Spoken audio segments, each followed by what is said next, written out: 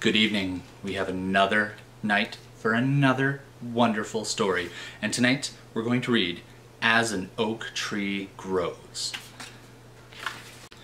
On a sunny late summer day, a young boy planted an acorn in the ground. Later that year, an oak tree sprouted up from the earth into the air and light.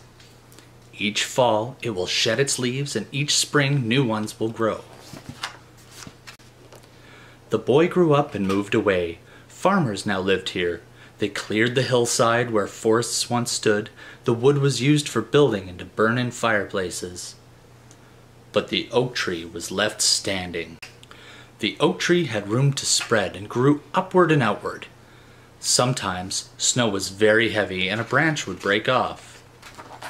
As the oak tree grew, everyone and everything was on the move. Children grew, some stayed to work on the farms, and others left to work in factories. Ships came and went, large engines rumbled along steel rails. Birds perched in the oak tree to rest from long migrations. Some stayed and made new homes, and others flew on. More people arrived and built houses and buildings. Some years, little rain fell. Hills and fields were dry where trees had once stood and shaded the ground from the sun's rays.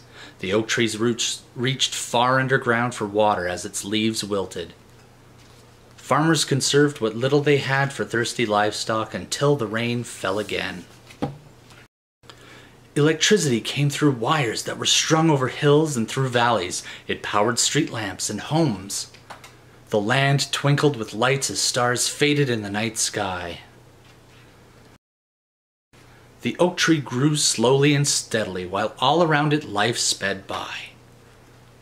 People rode in cars to go to work and visit friends, to go shopping, or just for a drive. Soon the air was filled with jet contrails and radio waves, and sound waves of beeping cars, barking dogs, zooming motorboats, whistling trains, and music.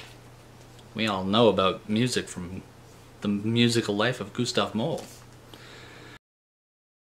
The oak tree is 200 years old. It has shed its leaves and grown new ones every year. Animals, birds, insects have made homes in its folds and holes and branches. The oak tree, with its strong roots, trunks, and limbs, have survived many storms over its lifetime. Now, a fog rolls in and a big storm is on the way.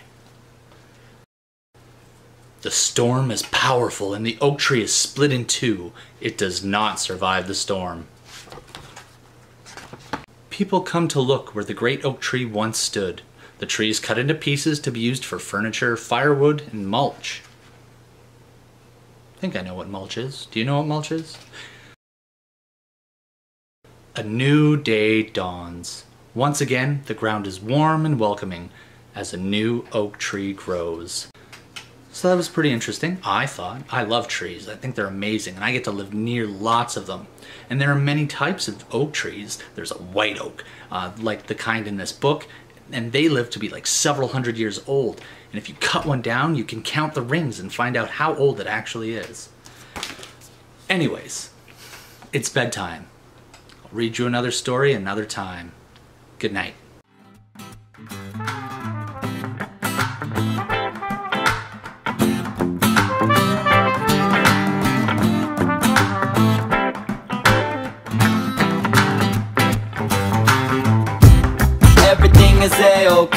Yup.